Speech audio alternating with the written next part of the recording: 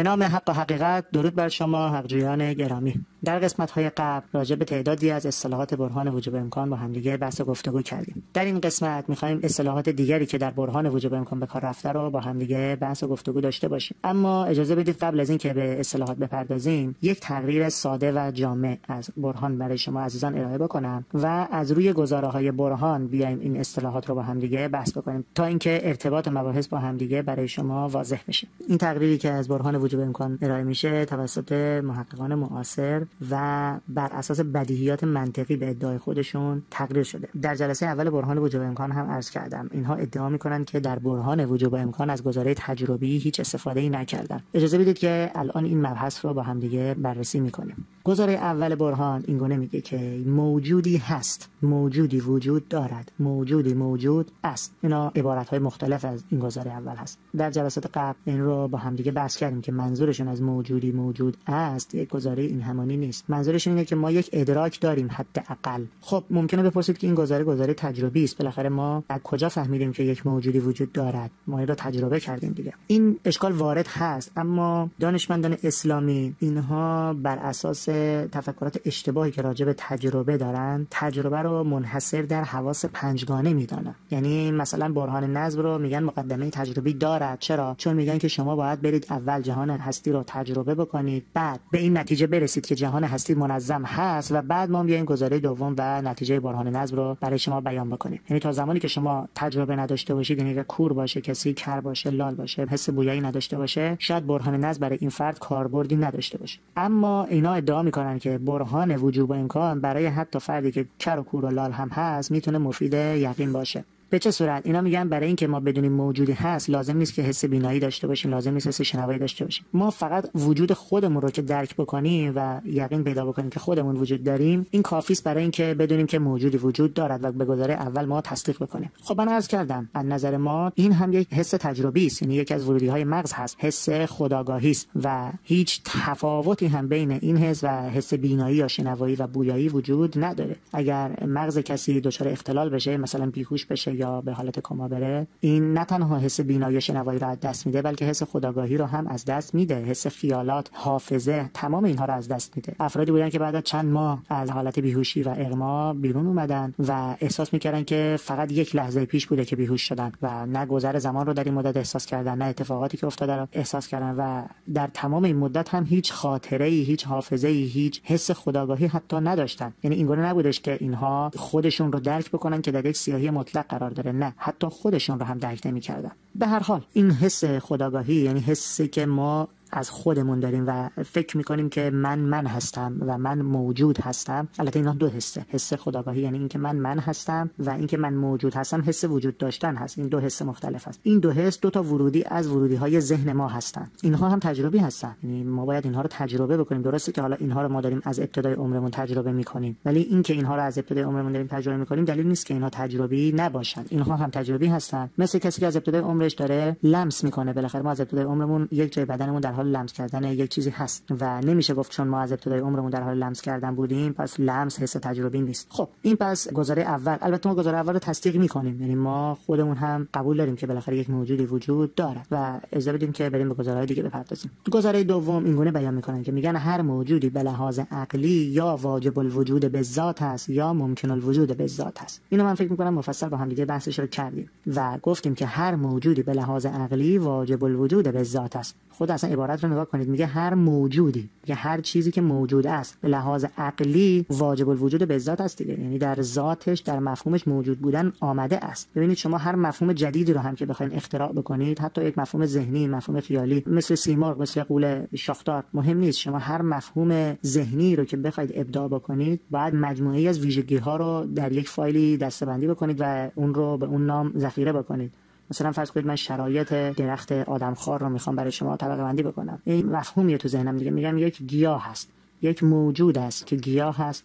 و مثلا فلان قد قدشه فلان قد عرض طولشه. این ویژگی ها رو داره برگاش این شکلی تنش این شکلیه. مثلا آدما رو اینجوری می‌گیره اینجوری می‌خوره اینجوری هضم می‌کنه. و حالا ویژگی دیگه که برای این درخت من می‌خوام بیان بکنم. ببینید اولین ویژگی که من توی فایل ویژگی های این درخت قرار دادم موجود بودن بود. یعنی اول باید فرض بکنم که موجود هست و بعد بیام سایر ویژگی ها رو براش بیان بکنم. حتی جن و فرشته و دیو موجود وهمی که ما برای جسم هم در نظر نمی‌گیریم اینها رو هم ما اول باید فرض بکنیم که موجود است. بعد حالا بگیم موجودی هست که جسم ندارد. مثلا فرشته اینگونه تعریف کنیم موجودی هست که جسم ندارد و خیلی هم باهوشه خیلی هم مثلا زیباست و قدرت های فراوانی داره و حالا کار مشخصی هم که ما تو ذهنمون هست اینا رو انجام میده. فرض کنید من الان یه تعریفی از فرشته ارائه کردم. شما هم ممکنه تعریفی از فرشته داشته باشید. ولی در فرشته اولین شرطی که هست اینه که باید موجود باشه. یعنی در ذاتش موجود بودن هست. یعنی واجب الوجود به ذات هست. یعنی اگر ما وجود داشتن رو به اون حمل بکنیم یک گزاره تحلیلی داریم. مثلا نیازی نیست که به خارج مراجعه کنیم. از مفهوم فرشته ما می‌فهمیم که موجود هست. ما داریم یکی از ذاتیاتش رو بهش حمل می‌کنیم. وقتی ما یکی از ذاتیات یک چیز را به اون چیز حمل می‌کنیم باید 100 درصد اون گزاره رو تصدیق بکنیم بدون شک. یعنی واجب است که اون گزاره رو باید تصدیق بکنیم. بسیار خوب.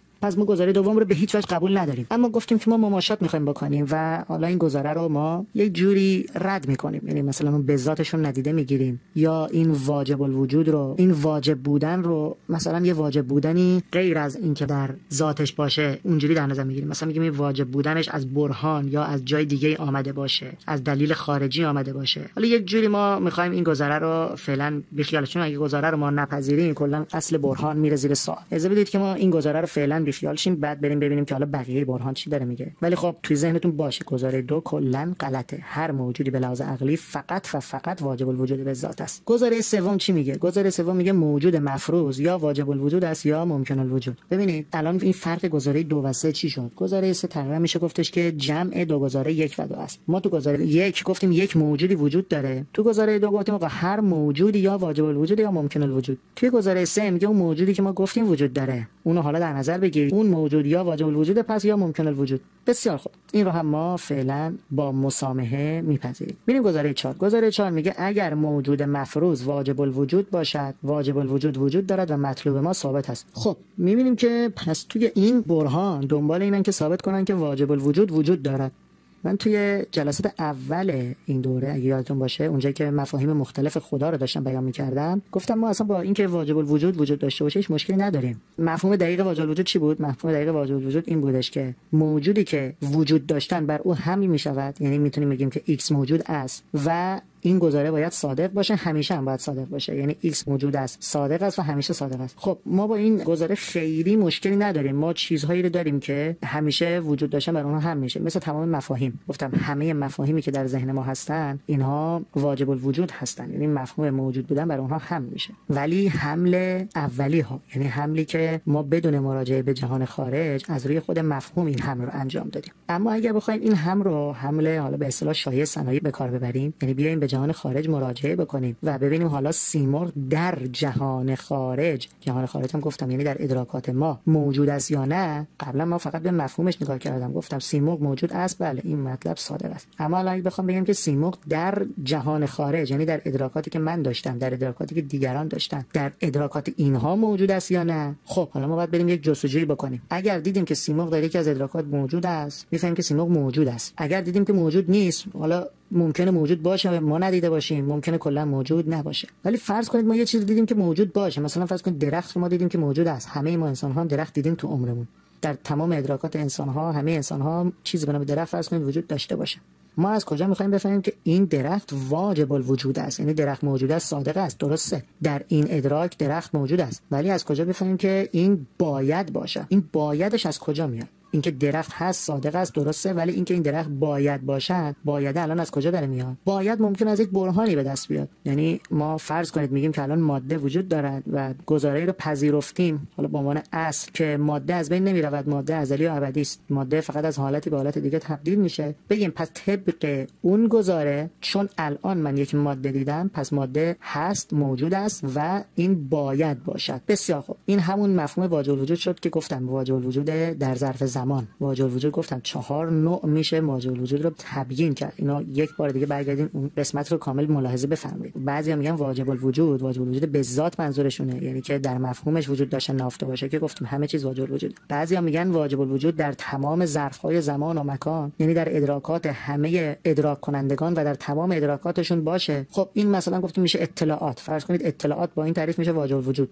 و بعضیا میگن که نه لازم نیست در تمام ظرفهای مکان باشه ولی باید در تمام ظرفهای زمان باشه. مثلا فرض کنید ماده یا فرض کنید چه می‌دونم حالا یک موجودی فرض کنید مثلا درخت رو فرض کنید که این از ازل بوده تا ابد هم هست. که موجود ازلی رو در نظر بگیرید تا که درخت ازلی رو در نظر بگیرید. این درخت از ازل بوده تا ابد هم هست. در ظرف زمان این در تمام ظرفهای زمان این موجود بوده ولی در تمام ظرفهای مکان نیست. این درخت یه جای خاصی هست. یعنی این نیست که هر کسی چشم باز کرد این درخت رو ببینه. بعد بروید به محل اون درخت تا اون رو بتونید ملاحظه کنید. اینم پس شد یک مفهوم از واجب الوجود که موجود ازلی و ابدی رو بهش میگن واجب الوجود. یعنی لازم شما بتونید اون رو ادراک بکنید ولی همین که ازلی و ابدی هست حالا ممکن نیست حادث نیست و این واجب الوجود و مفهوم چهارمی که گفتم از واجب الوجود در ذهنشون هست اینه که اصلا ما به اینکه در ظرف زمان و مکان باشه نباشه کاری نداریم. فرض کنید ما یک دونه وجود داشتن رو بر اون موجود پیدا بکنیم و از یک دلیلی بتونیم ثابت بکنیم که این وجود داشتن بر اون واجب است که پم بشود پس ما به موجود میگیم واجب الوجود یعنی این واجب بودن باید از یک دلیل آمده باشه. در واقع اینم به نوعی میشه همون واجب الوجود در ظرف زمان یعنی که موجود ازلی و ابدی. یعنی در واقع میگه از دلیل خارجی ما می‌تونیم ثابت بکنیم که این موجود باید باشد. یعنی خب این موجود باید باشد دیگه. لازم نیست که همه جا باشه همه مکان ها باشه. فقط کافیه که تو همه زمان ها باشه تا ما بگیم که این موجود باید باشه. خب بسیار عالی. پس گزاره چهار غیر از اینکه یک گزاره بود نتیجه برهان رو هم برای ما مشخص کرد. گفتش که برهان دنبال اینه که ثابت کنه واجب الوجود وجود دارد. حالا ما توی نقد برهان مثلا نقد آقای مصباح رو برای این برهان میاریم که آقای مصباح هم همین حرف زده. گفته که درست برهان وجوب امکان برهان خوبی هست ولی چیزی رو ثابت نمی‌کنه. بذارید من متن خدای مصباح رو توی کتاب آموزش فلسفه جلد دو بخونم براتون.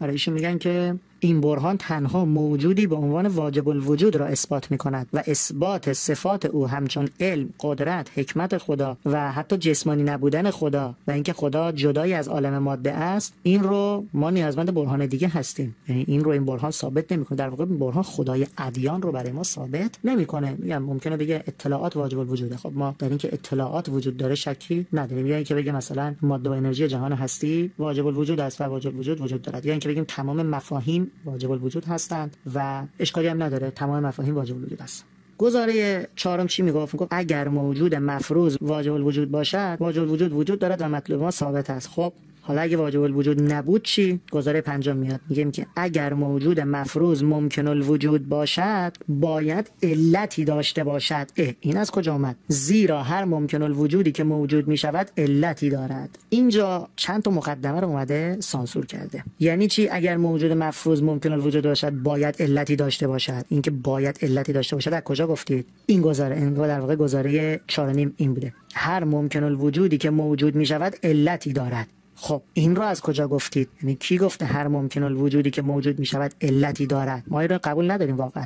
یعنی این گونه نیست که هر ممکن الوجودی حالا ما که ما نمیگیم ممکن الوجود. ما هر موجودی که موجود می شود لازم نیست که علتی داشته باشد. برید قسمت برهان علیت رو ملاحظه بفرمایید. ما گفتیم علت یعنی چی؟ علت یعنی چیزی که اگر نباشد این چیز نتواند باشد. بسیار خب فرض کنید که آتش علتی دارد. مثلا جرقه مثلا اکسیژن مثلا ماده محترقه اینا باید باشن تا آتشی صورت بگیره. یا مثلا یه علت بگم که مداومت داشته باشه. مثل نیرو و شتاب. یعنی نیرو باید باشه تا شتاب باشه. اما اینکه هر موجودی باید علتی داشته باشد اینو از کجا گفتید ما اینو نمی‌دونیم. ما اینو نمی‌تونیم بپذیریم. باید اثبات بشه. کجا میگید که هر چیزی یه چیزی هست که اگه اون چیز نباشه این چیز هم نیست. این از کجا گفتیم؟ ما اینو می‌تونیم بگیم که اگه علت نباشه معلولش هم نیست. اینو ما می‌تونیم بگیم. چون طبق تعریف علیته. اگه جرقه نباشه آتش هم نیست. اگه سوخت نباشه آتش نیست. اگر اکسیژن نباشه آتش نیست. بسیار خوب. ما این رو پذیرفت. ولی اینکه هر چیزی حالا آتش نه مثلا درخت مثلا سنگ مثلا الکترون. این باید حتما یه علتی داشته باشه که اگه اون نباشه الکترون هم نیست. اینا کجا گفتین شما؟ آیا دلیلی دارین مشاهده کردین؟ اینا خب دیدن واقعا این نقد وارد هست. و باید این گزاره باید اثبات بشه. گزاره 4 رو نمیشه اینجوری پذیرفت. حالا من یه گزاره دیگه ای رو هم اضافه کردم قبل از این گزاره 4 گفتن که ترجیح بلا مرجح محال است. یعنی چی ترجیح بلا مرجح؟ یعنی مثلا میگن شما اگر دو تا چیز بذارن جلوتون بگن یه دونه از اینا رو انتخاب بکن شما اگه واقعا این دوتا چیز از هر حس شبیه همدیگه باشن شما نمی‌تونید واقعا انتخاب بکنید. و حتما باید یکی از این دوتا یک برتری بر اون دیگری داشته باشه تا بشه انتخاب بکنیم. الان اینجا ما ترجیح بلا مرجعمون کجاست؟ میگن ممکن الوجود نسبتش با وجود داشتن و با معدوم بودن یکسان است. میگن یک ممکن الوجود شما در بگی مثلا سنگ این براش وجود داشتن ممکن است وجود نداشتن هم ممکن است. یعنی ممکن سنگ باشد ممکن سنگ نباشد. پس چون این دوتا براش بلا مرجع هستن باید حتما یک مرجحی باشد که را به وجود بیاورد حالا این رو اجازه بدید ما یک جلسه کامل راجع صحبت می‌کنیم. اجازه بدید من بقیه گزارهای برهان رو هم بگم. پس چی شد؟ بین 4 و 5 ما سه تا گزاره قرار دادیم. گزاره 4 و نیم چی بود؟ گفته بود هر ممکن الوجودی که می‌خواد موجود بشه باید علتی داشته باشه. قبل از این 4 و نیم یه گزاره دیگه گفتیم که ترجیح بلا مرجح محاله و یه گزاره سومی هم گفتیم که ممکن الوجود نسبتش با وجود و عدم یکسان لذا احتیاج به مرجح داره. حالا به اون مرجح ما میگیم علت. یعنی یک علتی باید باشه که ممکن الوجود وجود دار بشود. چون نسبتش با وجود داشتن و نسبتش با عدم یکسانه. اگه ما این سه تا گزاره رو بین 4 و 5 نگذاریم نمی‌تونیم بریم جلو. واقعا گزاره 5 گزاره صحیحی نیست گزاره منطقی نیست. باید حتما این گزاره با این سه تا اثبات بشه. حالا این سه تا رو اجازه بدید من بحثش رو براتون مفصل انجام میدم. اجازه بدید ببینیم ادامه برهان چی می‌خواد بگه. گزاره 5 میگه اگر موجود مفروض ممکن الوجود باشه باید یه علتی داشته باشه. خب گزاره 6 میگه؟ میگه اون علت خودش یا ممکن الوجود یا واجب الوجود. باز اینجا اینا میان چند تا گزاره رو در خفا در دل این گزاره 6 قرار میدن و میرن. اجازه ما اینا رو به صورت گزاره مستقل بیان بکنیم بعد میان میگن که یا ما توی این سلسله علت ها به یک واجب الوجودی می‌رسیم یا نمی‌رسیم. اگر به واجب الوجود نرسیم یا دور پیش میاد یا تسلسل پیش میاد. بعد حالا مثلا دو تا گزاره اینجا باید داشته باشیم که دور محال است تسلسل محال است. بعد این که به واجب الوجود می‌رسیم گفته پس ما اینجا این سلسله علت ها و معلول ها ختم میشه. یعنی اینا باید اثبات کنیم که واجب الوجود علت نداره ببینید ما تعریفی که از واجب الوجود کردیم چی بود؟ این بودش که موجودی هست که حالا وجود داره و باید وجود داشته باشه. ما دیگه راجع به بحث نکردیم که این موجود علت داره یا نداره. یعنی شما ممکنه سوال بپرسید بگید که خب ممکنه اون یه علت هم داشته باشه. علتش هم مثلا حالا مثل خودش واجب الوجود باشه و چون علتش هم هست خودش هم همیشه هست. چه لزومی داره که واجب الوجود حتما بی علت باشه؟ پس این رو هم باید به عنوان گزاره اضافه کنیم که واجب الوجود علت نداره. پس الان ما گزاره 6 که گفتیم 6 و یک دهم چی میشه؟ اینه که تسلسل محال است. اونم چه تسلسلی؟ تسلسل در علت های به وجود آورنده محال است. چون ما حالا تو بحث تسلسل یه جلسه بعد راجع تسلسل دور با هم صحبت بکنیم. ما انواع مختلف تسلسل داریم. بعضی از انواع تسلسل محال نیستن. بعضی از انواع تسلسل واقعا وجود دارن. حالا اینا اومدن میگن که تسلسل محال است. اینو واسه گزاره کلی میگن ولی خب این گزاره کلی دقیق نیست. تسلسل در علتهای به وجود آورنده محال است. ما فعلا این رو فرض می‌کنیم. بعضی از دوستان گفته بودن آقا این رو فرض نکن. راجعش بحث کن. قطعا این کار رو انجام میدیم. یعنی امروزه یک سری مثال هایی رو ما بهش دست پیدا کردیم که مبحث تسلسل رو با خدشه مواجه کرده. من گفتم تسلسل فرضه. یعنی نمیشه اثباتش کرد نمیشه ردش کرد. ولی اینکه ما محال بودن تسلسل رو بپذیریم یا نپذیریم ناشی از مشاهدات ماست. یعنی ما میایم جهان هستی رو بررسی می‌کنیم و به این نتیجه می‌رسیم که اگر این فرض رو بپذیریم فرض صحیحی رو پذیرفتیم. امروزه مشاهداتی داشتیم. حالا این رو بعدا بعد تو جلسه خودش باید با هم بیشتر بحث بکنیم که این گونه به ذهن ما متبادل می‌کنه که شاید واقعا تسلسل وجود داشته باشه و هیچ اشکالی هم پیش نیاید. این رو حالا باز اجازه بدید بیشتر. فعلا ما فرض می‌کنیم که تسلسل محال است. این گزاره 6 و 1 دهم رو ما تصدیق می‌کنیم. گزاره 6 و 2 دهم چی میگه؟ میگه که دور محال است. باز گفتم دور در هر چیزی محال نیست. مثلا مثل کنار هم بودن. مثلا میز کنار صندلی صندلی کنار میز است. میز کنار صندلی صندلی کنار میز است. میزم کنار صندلی صندلی هم کنار میز است. کنار چیزی بودن دور هست توش. ولی خب محالیتی هم درش وجود نداره. یا مثل محدود کردن. مثلا فرض کنید دو تا چیز هستن که اینها مرز مشترک دارن با هم دیگه. این چیز داره اون یکی رو محدود می‌کنه یعنی با وجود خودش داره مرز اون یکی رو مشخص می‌کنه. دومی هم با وجود خودش داره مرز اولی رو مشخص می‌کنه. و محدود کردن یعنی رابطه محدود کردن دور توش محال نیست. حالا اینا ادعا می‌کنن که رابطه به وجود آوردن دور توش محال هست. اینم باز اجازه بدید ما تو همون جلسه تسلسل بهش می‌پردازیم. تقریبا بحثش یکی هست. فعلا ما این رو میپذیریم. یعنی گزاره 6 دهم رو هم ما فعلا به عنوان یک فرض قبول می‌کنیم. یعنی تصدیق می‌کنیم. گزاره 6 و 3 چی میگه؟ میگه که واجب الوجود خودش علت ندارد. یعنی این رو هم اینجا فرض کرده که واجب الوجود خودش علت نداره. خب حالا این رو باید بهش بپردازیم که اینا چگونه بیان می‌کنن. یعنی اثبات می‌کنن این رو فرض می‌کنن. مشاهده ای دارن راجع به این مسئله دلیلی دارن. بالاخره همجوری که نمیشه آدم یک گزاره رو بیان بکنه. باید به یک چیزی مستند باشه گزاره دیگه. توی این گزاره بحث هست. یعنی این گزاره ما به راحتی نمی‌تونیم بپذیریم. خب گزاره هفت چی میگه؟ میگه پس تنها فرض صحیح این است که علت ممکن الوجود واجب الوجود باشد. یعنی یا اون ممکن الوجودی که ما الان اون موجودی که ما گفتیم وجود داره. حالا اینا فرض کردن اون موجود ممکن الوجود باشه. در واقع ممکنه اون واجب الوجود باشه. یعنی اون که من گفتم من من وجود دارم. ممکنه بگم من خودم واجب الوجود هستم.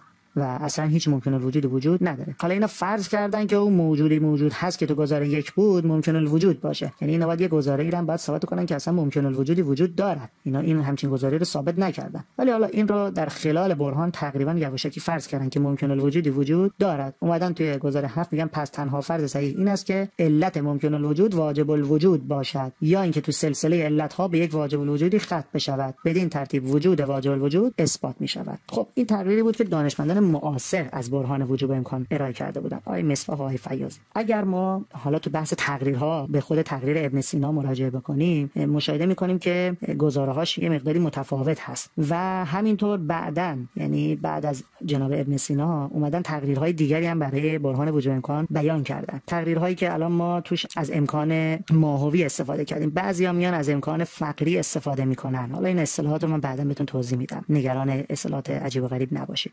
و بعضیا میان مثلا سعی می‌کنن یک جور دیگری این برهان رو تقریر بکنن که از دور و تسلسل توش استفاده نشه. چون دور و تسلسل امروزه یه مقداری گفتم داره بهش خدشه وارد میشه. گفتن آقا بیاید ما برهان رو جوری تقریر بکنیم که اصلا به دور تسلسلش کسی نتونه گیر بده. توش از دور تسلسل استفاده نشه. حالا ما توی بحث خود برهان به اینا می‌پردازیم که آیا اینا موفق بودن که واقعا برهان رو جوری تقریر بکنن که توش از دور تسلسل استفاده نشه؟ یا اینکه فقط فکر می‌کنن که این کار رو کردن و در خفا این محال بودن دور تسلسل رو استفاده کردن. حالا اجازه بدید اینا بحثش بمونه برای بعد. الان می‌خوایم یک مقداری راجع به اصطلاحات با هم دیگه بحث بکنیم. اولین اصطلاحی که من برای شما به کار بردم بحث حمل اولی و حمل شایع صناعی بود. توضیح دادم دیگه. حمل اولی وقتی ما می‌خوایم یک محمولی رو به یک موضوع حمل بکنیم این اصطلاحات منطقی موضوع محمول و اینا. حالا می‌تونید بهش بگید نهاد و گذاره یا میه فقط به مفهوم اون نهادمون نگاه می‌کنیم. مثلا می‌خوایم بگیم که سیمور پرنده است. ما الان اصلا هیچ نگاهی به خارج نداریم. ما برای صدق و کذب این گزاره هیچ مراجعی به ادراکات یا هم خارج انجام نمیدیم. ما میریم بانک اطلاعاتی مفاهیم رو باز می‌کنیم. می‌بینیم مفهوم سیمرغ چیست. در مفهوم سیمرغ می‌بینیم که گفته پرنده است که مثلا 100 متر طول دارد در کوه اورست زندگی می‌کند و حالا مثلا آتش می‌خورد و شرایط دیگری که توی مفهوم سیمرغ هست. خب می‌بینیم در مفهومش اومده که پرنده است. پس می‌فهمیم یکی از ذاتیات سیمرغ اینه که پرنده است. حالا اومدیم یکی از همون ذاتیاتش رو براش هم کردیم. گفتیم سیمرغ پرنده است. خب این گزاره قطعا صادق است. ولی گفتم این گزاره حمل اولی است. یعنی دقیقا همین گزاره بدون هیچ گونه تقدیری صادقه. یا از این گزاره بریم فراتر. می‌خوایم بگیم سیمرغ موجود است. ببینید اینم صادقه. صدقش هم واجبه یعنی وجوب صدق داره یعنی همیشه صادقه. چرا همیشه صادقه؟ چون که توی مفهوم سیمرغ اومده بود که این موجود است موجودی است که جسم است و جرم است و پرنده است و موجود زنده است و تغذیه می‌کند رشد می‌کند. تمام اینا در مفهوم سیمرغ بود. خب پس این که ما بگیم سیمرغ موجود است این گزاره گزاره صحیحی است و صدقش هم واجب است یعنی که همیشه صحیح است. ولی خب ممکنه شما بیاید بگید که سیمرغ موجود نیست که واقعا.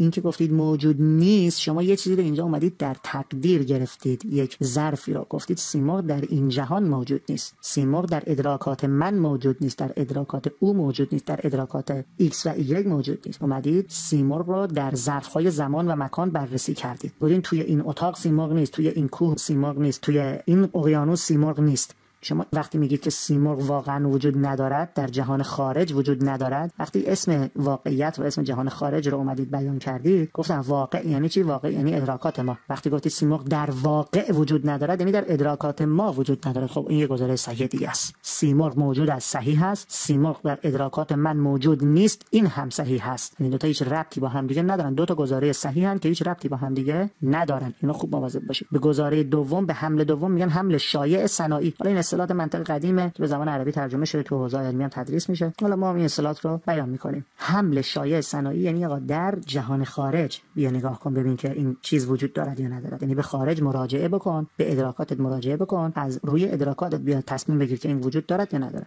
پس زمانهایی که ما یکی از ذاتیات یک مفهوم رو داریم به اون مفهوم حمل می‌کنیم یا یک چیزی که حالا با یک واسطه از ذاتیات به دست بیاد یعنی نیازی نباشه که ما به خارج مراجعه کنیم تو همون بانک اطلاعاتی مفاهیم و شرایط درون اونها اگه ما بچرخیم می‌تونیم اون گزاره رو یا تصدیق بکنیم یا تکذیب بکنیم. به این جور حمله میگن حمله اولی و ما اصلا از ادراکات توش استفاده نمی‌کنیم برای صدق و کذب. و گزاره هایی که ما برای صدق و کذبش از ادراکاتمون کمک بگیریم به اونا میگیم حمله شایع صنایع. خب این اصطلاحاتی بود که الان به کار بردم گفتم توضیحش رو داده باشه اصطلاح دیگه ای که من برایشون بیان کردم بحث ترجیح بلا مرجح بود چون مفصله اجازه بدید اینو قسمت بعد براتون پیام بکنم. باز اصطلاح دیگه که براتون به کار بردم دور و تسلسل بود. این اجازه بدید که دو قسمت بعد برای شما بیان بکنم. و یه گزاره دیگه هم بودش که میگفتش که واجب الوجود نیازی به علت نداره. اینم اجازه بدید توی نقد برهان و تقریرهای برهان با هم دیگه بحث رو بررسی بکنیم. اجازه بدید برای اینکه بحث بیش از این طولانی نشه من قسمت ها رو کوتاه‌تر برای شما تهیه بکنم و فاصله زمانی بین قسمت با قسمت بعدی رو کمتر بکنم. امیدوارم که همینطور که با اشتیاق و علاقه مندی این مباحث رو پیگیری می‌کنید ضعف هایی که در ارائه مباحث هست رو به بزرگواری خودتون ببخشید. ضعفی که در صدا هست در محیطی که من صدا ضبط می‌کنم و افکت هایی که روی صدا می‌گذارم برای اینکه صدا شناسایی نشه و مشکلاتی که در ارائه زمانی این مباحث هست بالاخره مشغله کاری شدیدی که من دارم مانع از این میشه که من در بازهای زمانی کوتاهتری این رو در اختیار شما قرار بدم. امیدوارم که همه اینها رو به بزرگواری خودتون ببخشید و با همون اشتیاقی که تا اینجا مباحث رو پیگیری کردید از اینجا به بعد هم با همین شور و شو و علاقه مندی ادامه مباحث رو هم پیگیری بفرمایید. امیدوارم هر جا که هستید همواره در زندگی شاد و سربلند و پیروز باشین. بدرود.